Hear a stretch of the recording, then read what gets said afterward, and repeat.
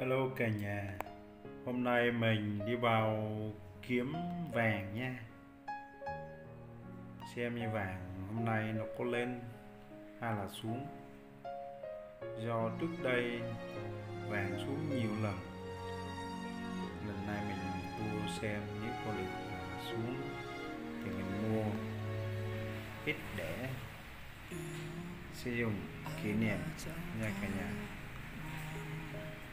nếu mà nó lên á, mình cũng phải mua. Bởi vì mình lơ vào rồi, mình phải mua để kỷ niệm thôi. Còn rất nhiều á, giá cả ở đây nó khác nhau.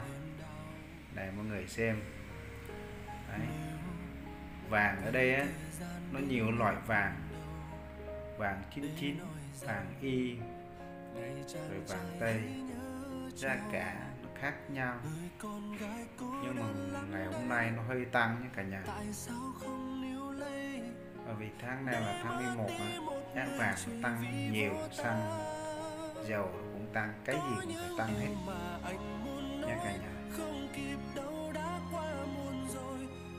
do Covid 19 nó liên quan tới công ăn việc làm cho anh em rồi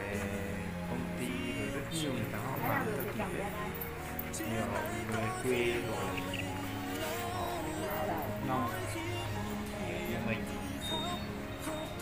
Có để làm đi mua, xem bên giao dịch này nó có tăng xuống hay thấp mình mua nó, mình làm cái nhà. Như trước đây á, mình làm nhiều. Mệt. Để ranh rối khám phá tất cả loại tiền vàng đây. Các bạn xem cũng đồng hành với chúng ta một nhé những người thấy video rất hay ấy và nhớ like và ủng hộ. Đăng ký. Cả nhà xem video xong nhớ đăng ký và ủng hộ like chia sẻ cho video Itun Tamot nhé. Thời gian đi dần thời gian đi kiếm vàng. Ờ, đi ngoài làng nhìn nhau sao đẹp ai biết được. Cái đó hình như dài đúng không? dài quá lấy cái ngăn ngăn tí được không? Em soi cái chỗ bạc này.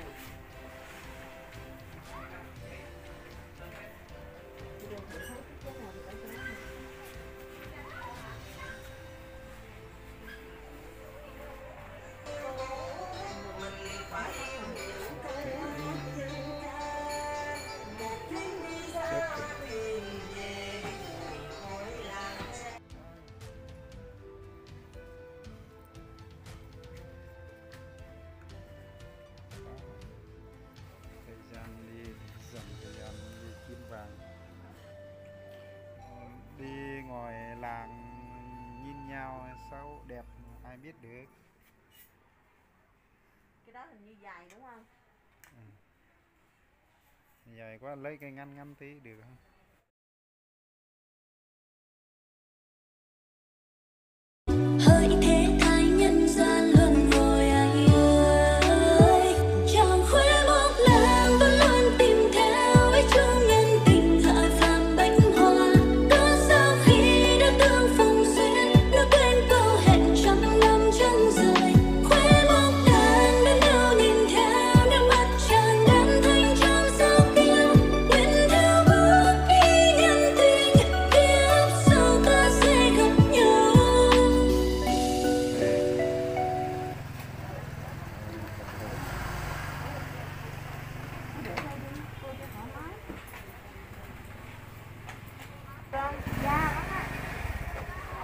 Đây.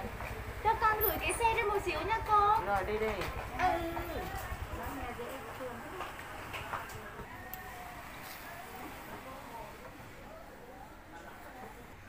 Khỏi cần cân nữa.